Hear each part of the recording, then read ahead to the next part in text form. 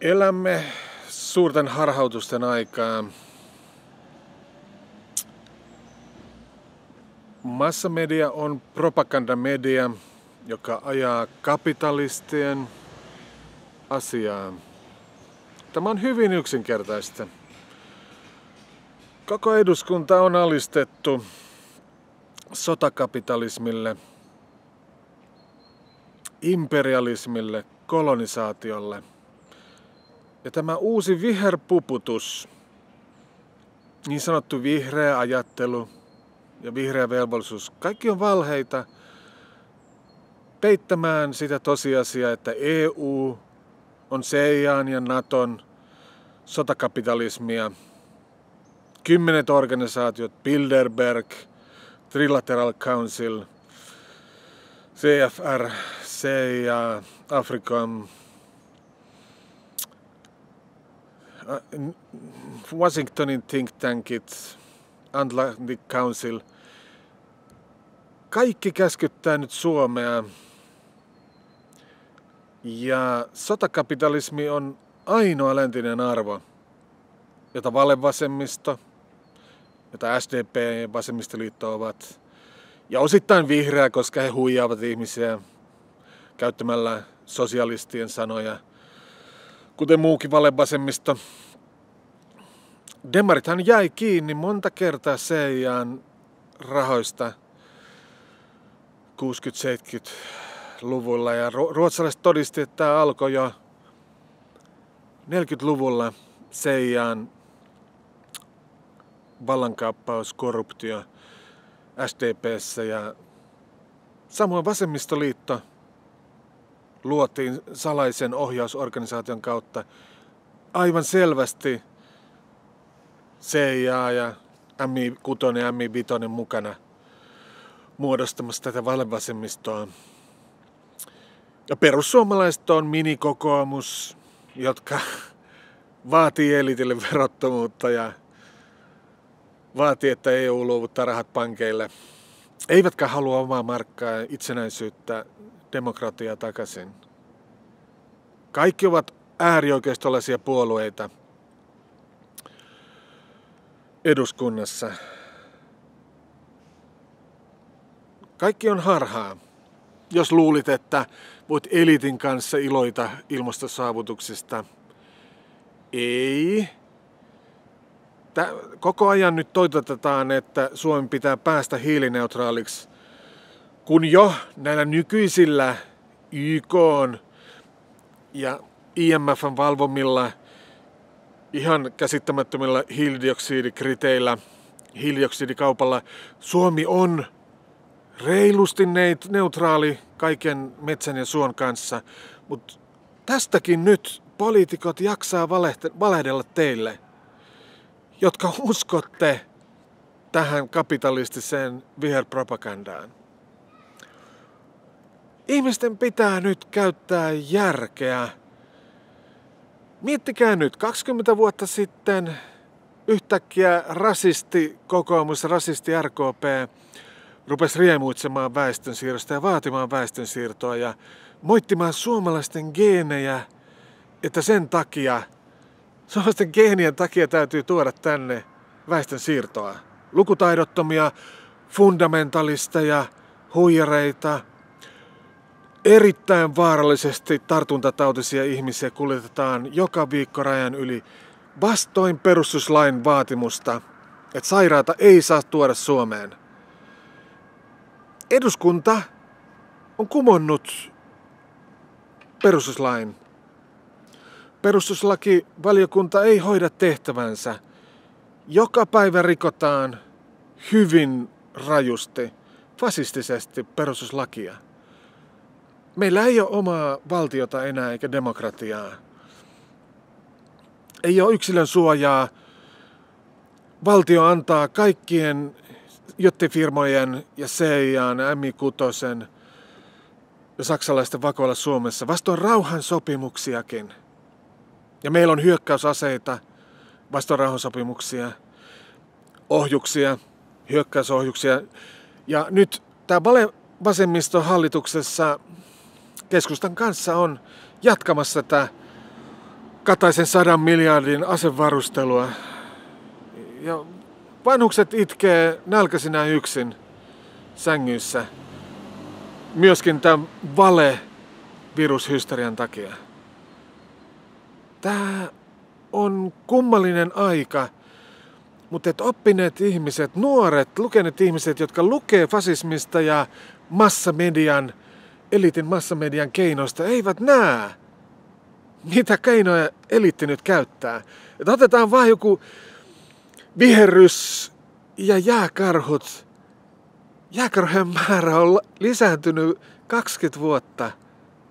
Ja tätäkin valhetta te nuoret nielette. Kapitalistit syöttää teille mainoksia uudesta uljasta tulevaisuudesta ja te suostutte Orwellin maailmaan.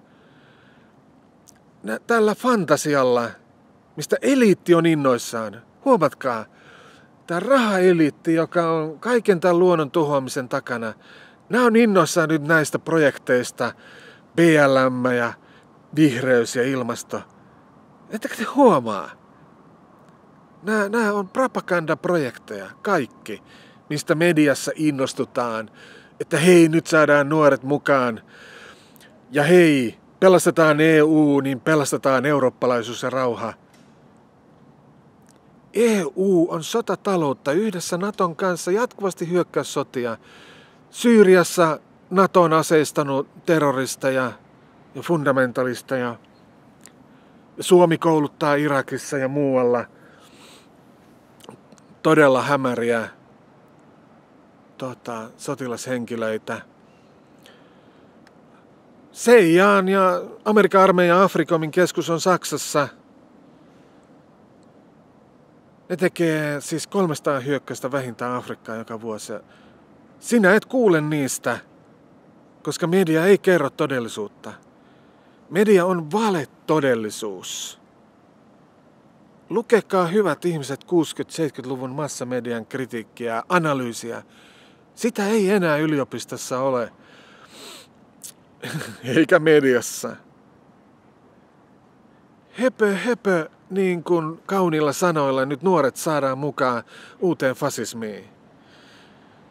Elitti on todella riemuissaan, miten helposti nuoret saadaan kauniilla sanoilla nyt ohjattua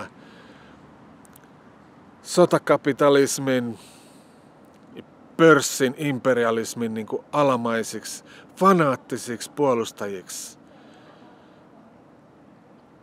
Suomalaisten elintaso on romahtamassa. Ja poliittinen valinta. 30 vuotta on ajettu tuloeroja tahallisella politiikalla. Vihreät, vasemmistoliitto, demarit mukana innoissaan. RKPn aloittamassa tässä EU-diktatuurin vaatimuksessa, että täytyy luovuttaa päätäntävalta EUlle, jonka keskeisin päättävä elin on pyörää pöytä, joka määrää kaikki EUn tavoitteet ja niin sanotut muutosstrategiat. Ja se on industrialistien, tuhokapitalistien, saastuttajien pyöreä pöytä. Se on salain, salaiset kokoukset. Ja te nuoret ette tiedä tästä, koska te luulette, että todellisuus on mediassa. Ja että joku psykopaatti, niin kuin kauniisti puhuva puolue, vallanhimoinen, kaunis naispoliitikko voi niin kuin vakuuttaa teidät siitä, että kapitalistit haluaa nyt hyvää, vihreää uljasta tulevaisuutta. Ei. Nyt ajetaan ihan puhdasta fasismia. Vakoilulla ihmiset profiloidaan ja kaikki järjestöt on Suomessa solutettu salaisten operaatioiden ihmisillä. Armeijalla, armeija saa toimia salaa. Ei mikään demokratia, oikea demokratia antaisi armeijan salaa toimia kansalaisten järjestöissä ja vakoilla ja antaa tietoa ulkomaalaisille vallankaappajille. Sitä armeijan supo poliisi ja mediapooli jos olet ikinä kuunnut sanaa mediapooli ja hybridikeskus, jota amerikkalaiset myös rahoittaa, joka on fasismin tämän prosessin ohjauskeskuksia, nämä hybridikeskus ja mediapooli. Vallankaappauksen keskuksia. Ja te luulette, että päättäjiä kiinnostaa nyt joku luonnon pelastaminen. Päättäjiä kiinnostaa teidän harhauttaminen. Teidän ajatusten sitominen ohjaukseen ja alistumiseen. Tämä on ihan uskomatonta, että demokratia ei merkitse nuorille yhtään mitään. Tähän elitin propagandaan nyt kuuluu vahvasti, että, että nationalisteja pitää haukkua ja vihata.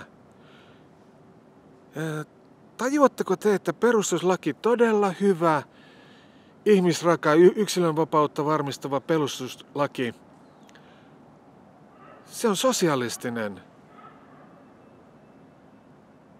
Ja se perustuslaki on estämässä elitin terroria. Sen takia perustuslaki on ohitettu. Perustuslain ohittaminen on fasismia. Fasismin nousu Euroopassa 30-luvulla oli täysin raha-eliitin rahoilla, päätöksillä, käsikirjoituksilla, salaisilla kokouksilla tuotettu. Ei, ei kadulla syntynyt mitään natsismia. Kaikki oli eliitin valitsemaa ja nostamaa. Se oli teatteria imperialismiin varten, hyökkäyssotiin varten Saksan tapahtumat. Ihmisiä huijattiin taitavasti, mutta ei, ei kadun ihmiset keksineet mitään natsismia. Se oli ihan pankkiirien maksamien asiantuntijoiden työtä armeijan kanssa – Hitler oli armeijan työntekijä alusta saakka, joka ensin soluttautui sosialistiseen järjestöön. Ja tota, sitä kautta pääsivät huijaamaan, että edustavat muka sosialisteja. Ei, ei. Ei ole muuta ratkaisua kuin se, mitä työläiset valitsi 60-70-luvulla. Taistelu elittiä vastaan. Me saatiin hyvinvointi pelkästään kansantaistelun puolesta. Ei se, että ruvettiin puhumaan vihreydestä ja annettiin elitille kaikki rahat. Nyt tässä propagandalogiikassa, mitä teille nuorille syötetään, on se, että EUlle pitää antaa kaikki rahat pörssifirmoille, elitille. Elitin pitää pysyä verottomana. Eliitti on nyt muutettu verottomaksi Suomessa 30 vuoden aikana. Ja sen takia köyhät ja mielenterveydessä kärsivät ihmiset itkuu ja tekee, itkee, tekee itsemurhia, toimii itsetuhoisasti. Ja Suomessa niin kun, mediassa on hirvittävä sensuuri koko ajan itsemurhista. Mutta kun tavallinen flunssa tulee, niin siitä keksittiin nyt elitin propagandaoperaatio, että kuka tahansa voi kuolla. Kuolleisuus on Euroopassa täysin normaali ja huomattavasti normaali pienempi Suomessa ja useimmissa Euroopan maissa. Tilastollisesti kokonaisuus on siis tavallista pienempi kuolleisuus Euroopassa nyt. Ja tämä elitin propaganda jatkuu nyt seuraavasti, että nyt sen eristämisen ja köyhtymisen ja stressin ja likasten bakteerimaskien takia ihmiset rupeaa kuoleen nyt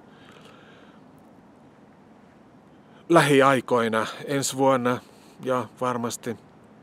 Sitten ruvetaan syttää virusta, vaikka tämä virushysteria aiheuttaa nyt ihmisten kuolemaa lisää. Tämä on pirullisen ovelaa, koska eihän, eihän eliitti ajattele moraalia. Eliitti ajattelee rahaa ja statusta. Ja äh, voi, voi teitä, jotka luulet, että eliitin media edustaisi tavallista ihmistä. Kaikki on käsikirjoitettua ja sensuroitua. Eliitti on vihan media. Se yrittää estää demokratian, paikallisdemokratian. Ei ole olemassa mitään muuta kuin paikallisdemokratiaa. Työläiset, jotka nousi elittiä vastaan ja sai meille hyvän Suomen. Tämä hyvä Suomi, missä huolehditaan ihmistä, tämä on työläisten lakkoilun ansiota. Meillä oli jotain 60 000 lakkoa 70-luvulla.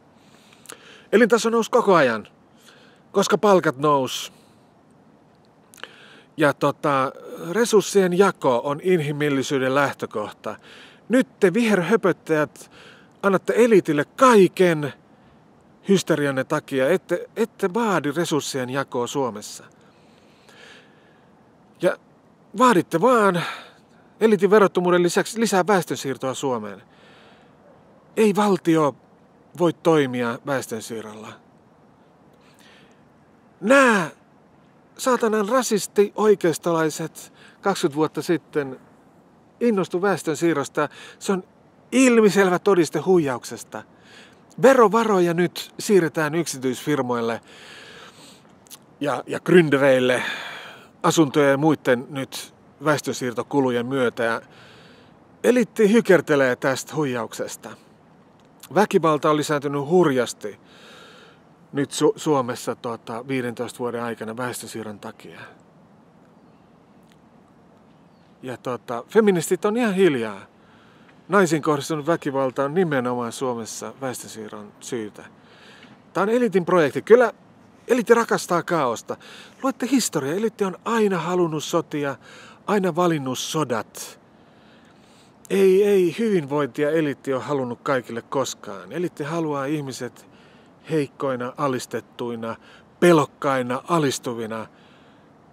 Tämä on feudalismia, kirkkokulttuuria, syntikulttuuria. Et virus tai Jumala, kumpikin kelpaa elitille keinoksi alistaa ja pistää ihmiset hysterian ja alistumisen tilaan. Ei ole mitään pandemiaa ollut. Ei. WHO keksi niin kuin viime vuonna ihan hatusta ilman tiedettä uudet pandemiaehdot. Ja eihän mitään tieteellisiä syitä virushysteriaan ja lockdowniin ja pienten yritysten tuhoamiseen. Eliitti on alusta asti tiennyt, että nyt tuhotaan taas pörssifirmojen ja pankkien niin kuin voitanteon alta pienyrittäjiä. Voi teitä pienyrittäjiä, jotka äänestätte kokoomusta ja keskustaa ja luulette, että me eletään markkinataloudessa, kun suurpääoma on verotonta ja todelliset työntekijät, pienyrittäjät joutuu maksamaan hirveästi veroja. Pohjoismaisessa mallissa suurfirmat ja eliitti maksoi eniten veroja, veroprogressio. Ja tätä viherpiipertäjät ei halua, koska viherpiipertäjät on oike- äärioikeistolaisia, pankkiirien ja kenraalien ja pörssihuijareiden kavereita. Viherhuijarit haluaa tukea fasismia selvästi, koska haluaa tukea EUta. EU on äärioikeistolainen projekti. Se on tehty natsien perustaman Bispankin ympärille koko EU. Ja kaikki keinottelu ja raaka-aineiden hinnat määrää natsien perustama pankki. Nuoret, tajutteko te mitä politiikka on? Politiikka tarkoittaa taistelua. Te taas julistatte, että se on alistumista.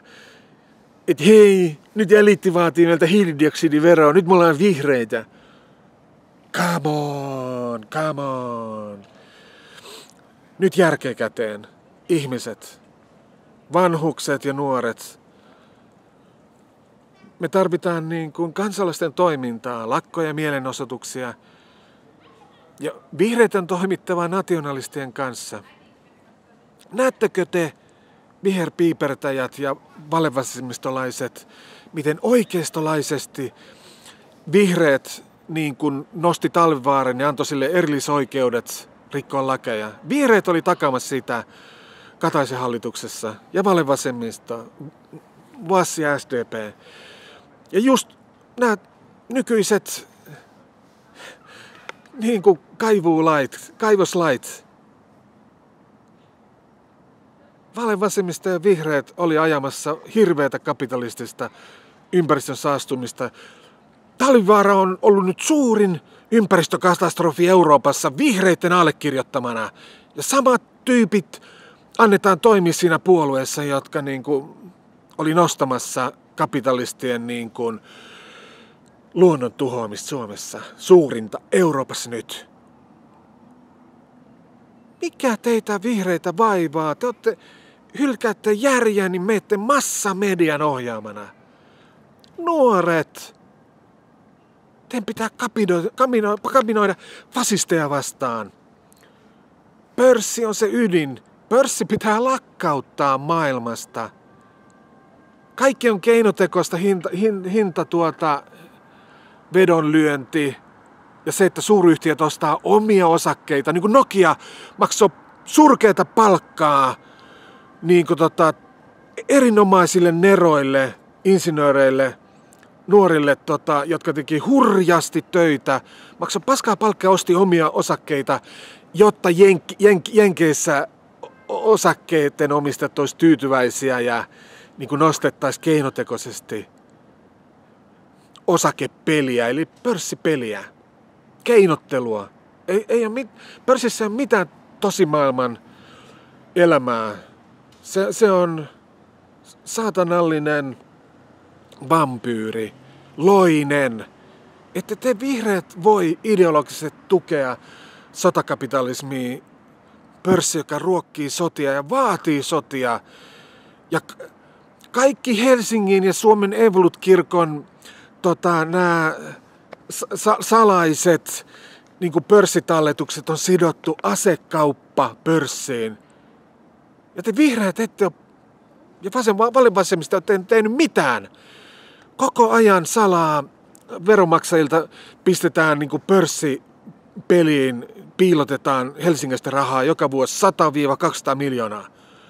Ja valinvasemmisto on vain tyytyväinen ja hei mekin halutaan olla vihreitä. Te huijareita. Kaikki valtuuston politiikat ja eduskunnan politiikat, te huijareita.